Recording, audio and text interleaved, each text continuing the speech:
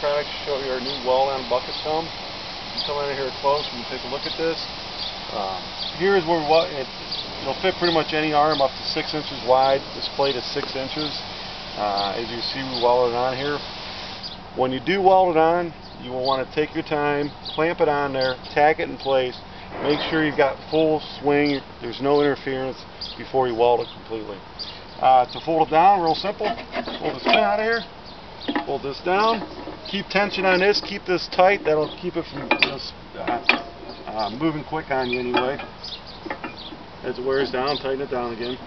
Um,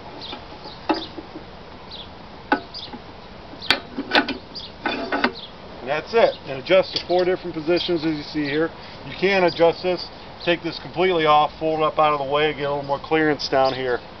Go ahead and stop it for a second. Hit the button.